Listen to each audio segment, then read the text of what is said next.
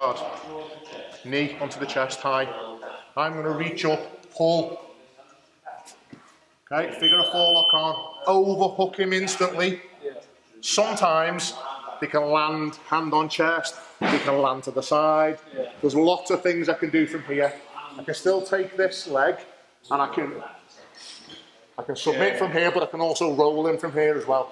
Okay, so there's lot, there's lots of variations from this. But if he lands to the side, I'm going to overhook quickly. Okay, leg slides down, takes the leg out. You feel that in your calf. Okay, extend it and really tighten it, but not enough that you're going to hurt him. Yeah. Armpit, and then roll straight over, left roll, side controls. Okay.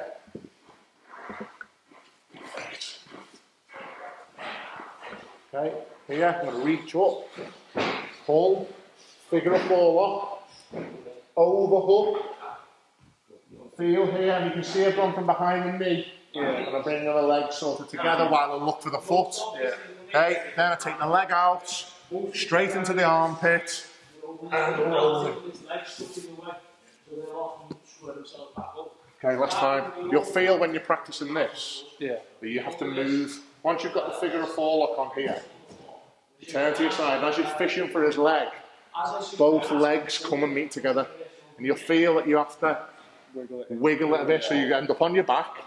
And then when you extend the leg out, you feel the weight lift off Yeah. because you've sort of disbalanced it.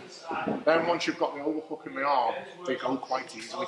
But it takes a little bit of a snap of the hip to pull it off. So, this way, other way. Get that leg in. Yeah, get this leg in here. I'm going to start there. Okay? Now, get this through a bit more. Straight away, you're going to reach up, grab his neck, and as you pull him down, right, overhook him with this hand and get it really tight, as tight as you can, right, and pin your elbow down. Then you're going to kick your leg through. It's going to go behind here. So we've now got what's called a figure of four lock.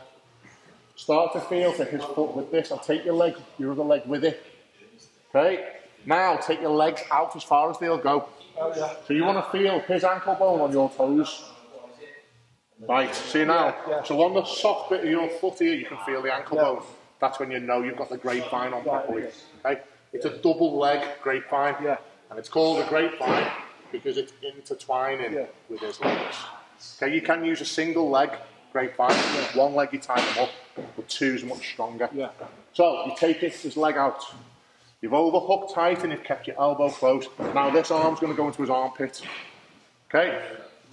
Now you're just going to gently sort of bring your legs and wiggle your hips and roll straight over. Okay? And then we let go and we go dismount into side.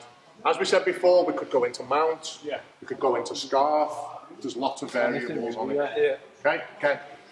Down, overhook tight, squeeze your elbow down, find this, get the figure of four on, find this foot.